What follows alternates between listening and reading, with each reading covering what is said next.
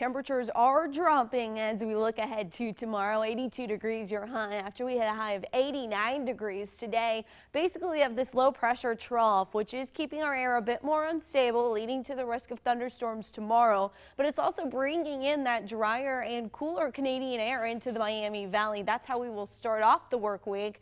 And then the high pressure and the heat does take back over as we look ahead to the second half of the week. For now on our satellite radar imagery, you can see the storms kind of taking the path of that trough along uh, into Illinois and across Indiana. That's kind of what's keeping a lot of the storms out of the Miami Valley as they're following this, this path. It's going to continue that south and south uh, eastward push and not so much of an eastward push push.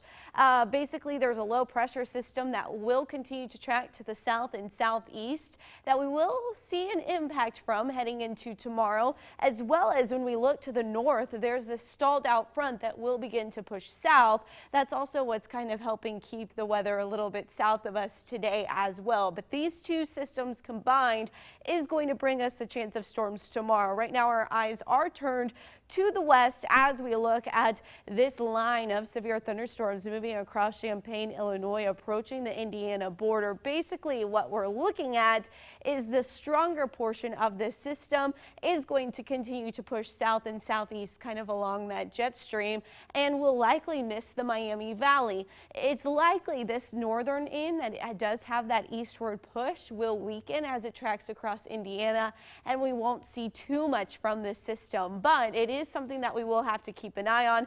If it holds up, it could be impacting the Miami Valley around 2 a.m. between 2 and 4 a.m.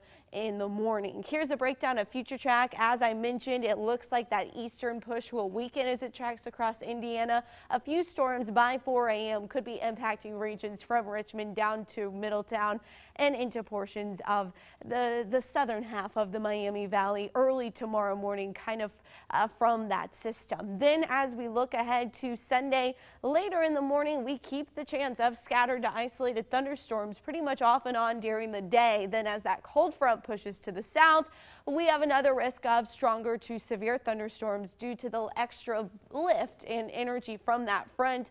We will have to watch out for those 60 mile per hour wind gusts within any thunderstorms that do develop tomorrow afternoon and evening. Notice Monday, uh, not too much to talk about. Things will be much drier. There is a marginal risk of severe weather tomorrow along that cold front in particular in the afternoon and evening.